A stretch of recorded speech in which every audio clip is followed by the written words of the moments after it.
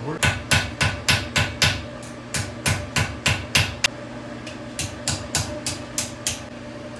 know, torch, I will have you hold it.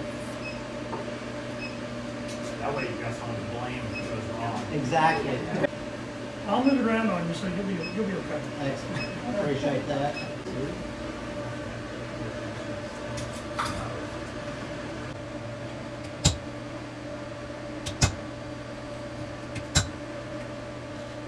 Sides are even. Right now, we're looking good. Thank goodness. Like I said, it's going to take a couple of times to get this drifted out. Very close. I'm going to do one more drift. I'm tapping and walking the punch out towards the tips. There's one ear. Ready to torch.